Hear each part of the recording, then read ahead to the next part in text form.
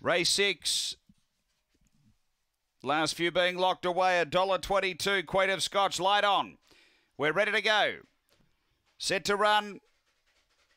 Favourite off the inside away. Queen of Scotch step beautifully. There's some pressure coming. It's booting through. Destiny Spitfire tries to match it, and Calais Prince found the rail and zipped through. So Calais Prince from Queen of Scotch. Then Destiny Spitfire. Next is Go Forward Gemma. Then Chief in Charge Victor Darrell. Stimulus Package and Molly Palms up to the turn.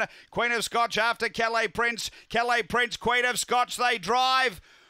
Oh, I don't know. Calais Prince or Queen of Scotch, there's nothing in this from Destiny Spitfire, Victor Darrell, Chief in Charge, Go Forward Gemma, Molly Palms. It was back toward the tail. The time is 23 seconds. The one gets the result. Queen of Scotch gets the bob and the win. It's one from seven. Gee, how it got to the rail so early, uh, I don't know. Uh, the second greyhound there, Calais Prince. It's one, seven, and four. And uh, six is fourth home. One, seven, four, and six. Queen of Scotch for Tony Rasmussen. Number one makes it three in a row.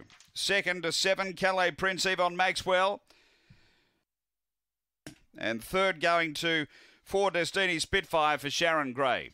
So it's one, seven, four, six fourth after race six at Gawler.